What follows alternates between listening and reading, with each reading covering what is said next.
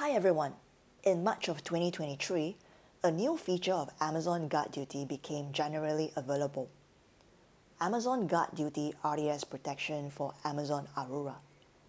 In this video, I am going to focus on this specific feature to give you a better understanding of how it works. Before we discuss the RDS protection feature, let's talk a little bit about Amazon Guard Duty.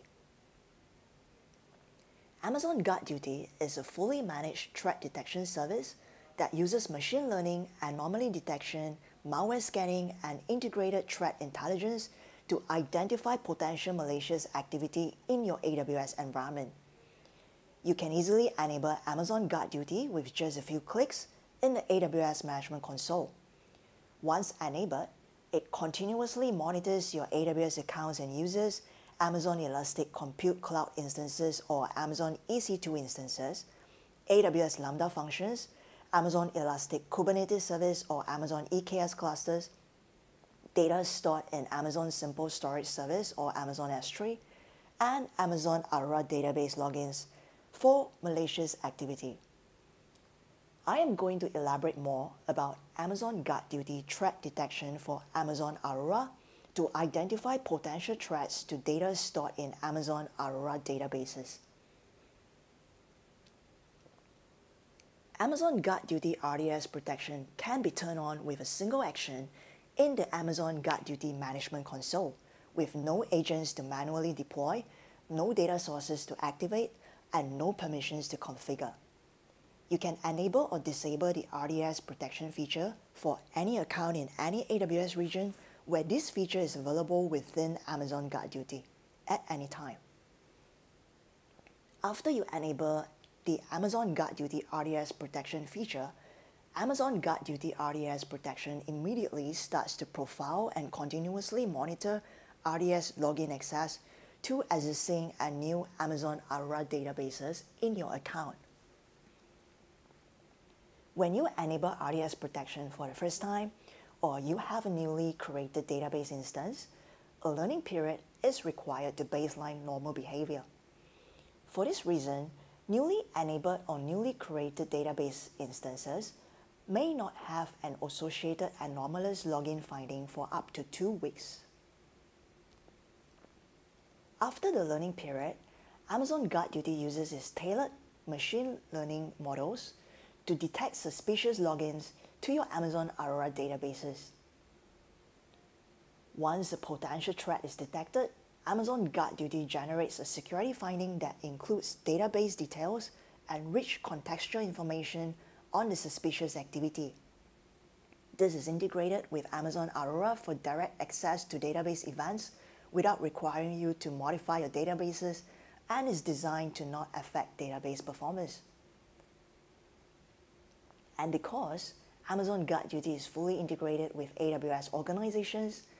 As the Amazon Guard Duty Delegated Administrator, you can choose to auto-enable RDS protection for all existing as well as new member accounts when they join your AWS organization. Now, let me show you an example of an Amazon Guard Duty RDS finding. For demonstration purposes, I have set up an Amazon Aurora database in a public subnet with its database port exposed to the internet.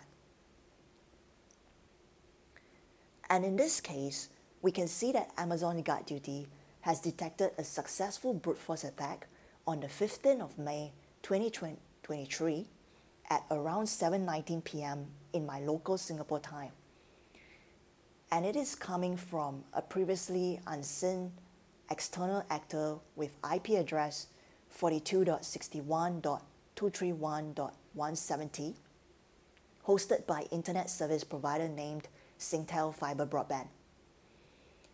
Amazon Guard Duty provided us further insights into this attack. You can see that it has detected 1,330 failed login attempts and one successful login. This is categorized as a high severity finding because there is a consistent pattern of failed login attempts from a public IP address, which indicates overly permissive access policies on our Amazon Aurora database and this is potentially an unauthorized access. From this security finding, we can also see that Amazon Guard Duty has provided us database details, and in this case, it is a MySQL version 5.7, and the Amazon Aurora MySQL database engine is version 2.11.2. And we also have the full database ARN telling us which region and account ID this affected database resides in.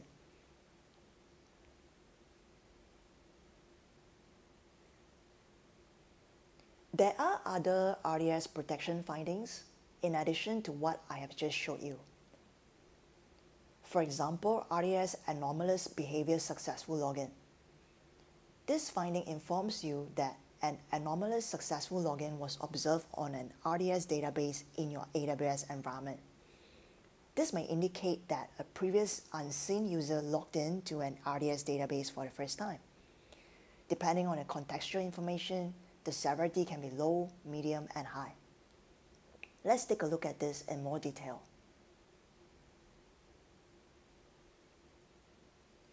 I have two Amazon Guard Duty RDS protection findings here. The first one has a low severity because the username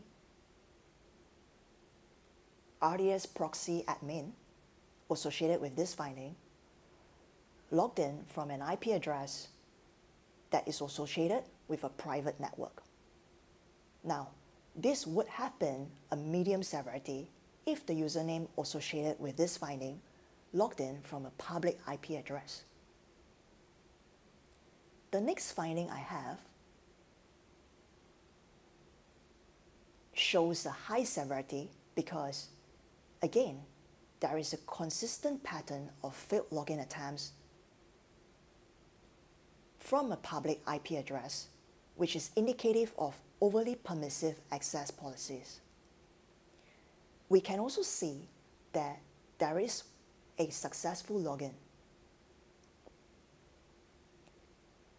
Now, going back to our Amazon Guard Duty RDS protection finding types, we can also see other findings such as RDS anomalous behavior failed login, which one or more anomalous failed logins were observed on an RDS database in your AWS environment. A failed login attempt from public IP address may indicate that the RDS database in your account has been subjected to an attempted brute force attack by a potentially malicious actor. This is different from a successful brute force attack finding.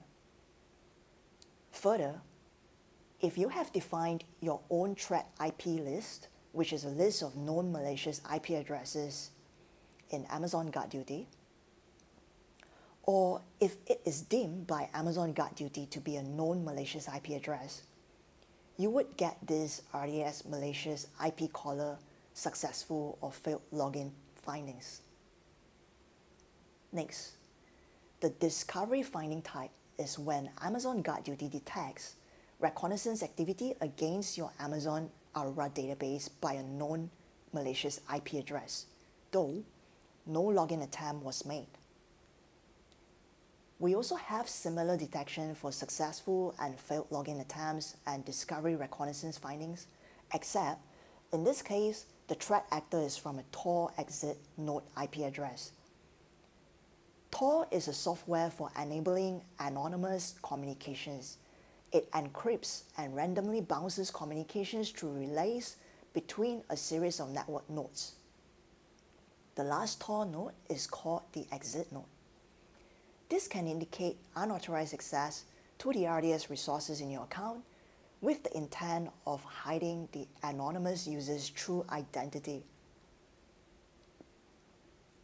Something to note is that RDS protection in Amazon Guard Duty analyzes and profiles RDS login activity for potential access threats for these currently supported Amazon Aurora MySQL and PostgreSQL database engine versions you may wish to visit this link for future up-to-date database engine versions.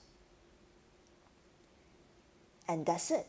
I have explained the Amazon Guard Duty RDS protection feature and showed a brief walkthrough of example findings generated by Amazon Guard Duty.